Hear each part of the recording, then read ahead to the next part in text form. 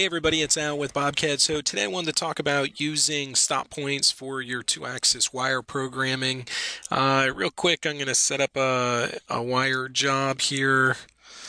Um, really doesn't matter which machine. We'll set our zero, that's fine, and we'll choose OK.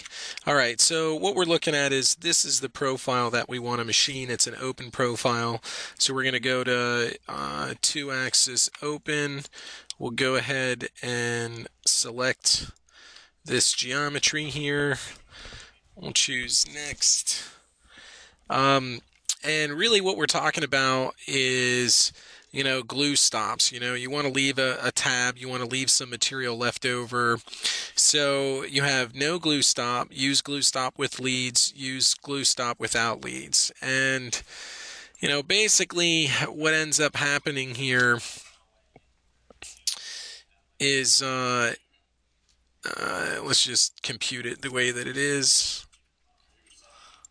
All right, so we get our we get our rough cut we get our skim cut, and then we get our tab cut.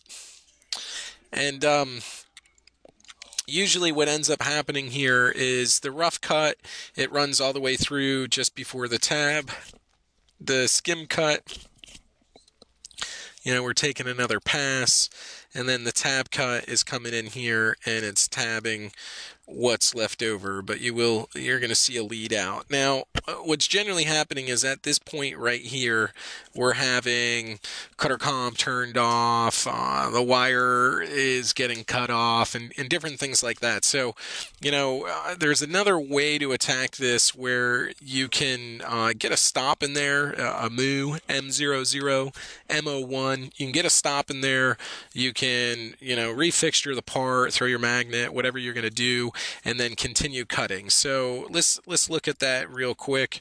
Um, what I'm going to do is I'm going to um, I'm going to turn this option off. I'm going to go to no glue stop. And then as far as my machining strategy, I'm just going to do uh, just a skim cut so we can just look at one thing at a time. All right. All right, so we got we got our skim cut here, and you know what? Let me uh, let me uh, let me throw a lead on here. So we'll do a lead parallel, you know, just so we have it, uh, you know, it's starting off the part and it's finishing off the part. Now, what we want to do again is we want to put a stop point on here.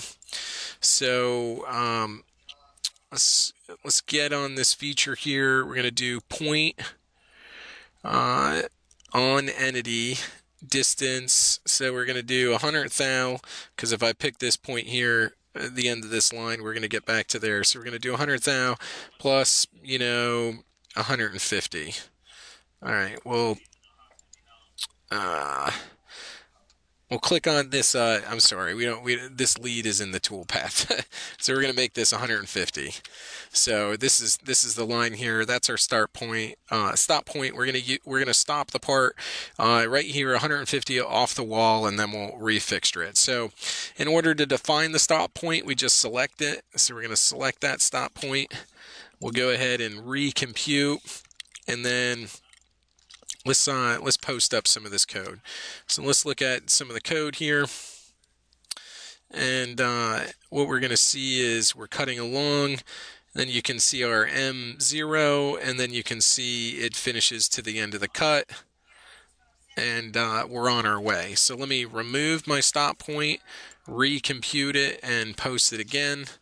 And then now we're going to see that there is no uh, M0 there. Okay, so we can use a stop point uh, quite simply. We can say, hey, this is where we want to throw a stop in there.